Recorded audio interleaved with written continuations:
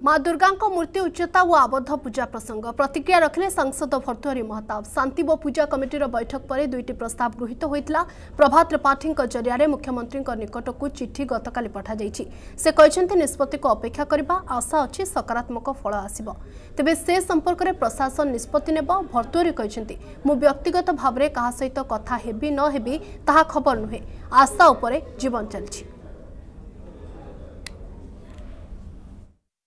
ଯେଉଁ ଦୁଇଟି ପୂର୍ବାଞ୍ଚଳ ଶାନ୍ତି କମିଟି ଆଉ କଟକ ମହାନଗର ଶାନ୍ତି କମିଟି ତରଫରୁ ସେମାନେ ଲିଖିତ ଭାବରେ ଯେଉଁ ଦୁଇଟି ପ୍ରସ୍ତାବ ଥିଲା ଯେ ମୂର୍ତ୍ତିର ଉଚ୍ଚତା ସ୍ୱାଭାବିକ କରାଯାଉ ଏବଂ ଆମର ଯେଉଁ ପ୍ରକାର ପରଦା ଢାଙ୍କିକି ଯେମିତି କରାଯାଉଛି ସେମିତି କରା ନଯାଉ ଆମେ ବାକି ସବୁ ଗାଇଡ଼ଲାଇନକୁ ପାଳନ କରିବୁ। ସେଇଆକୁ ଲିଖିତ ଭାବରେ ଗତକାଲି ପ୍ରଭାତ ତ୍ରିପାଠୀଙ୍କ ଜରିଆରେ ସେ ଚିଠି ମୁଖ୍ୟମନ୍ତ୍ରୀଙ୍କ ପାଖରେ ପହଞ୍ଚାଇ ଦିଆଯାଇଛି।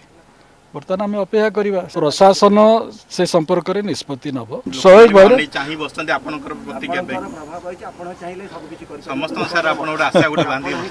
ଦେଖିବା ଆଶା ଆଶା। କରାଯାଉଛି। ଆଶା କରାଯାଉଛି। ଆଶା କରାଯାଉଛି।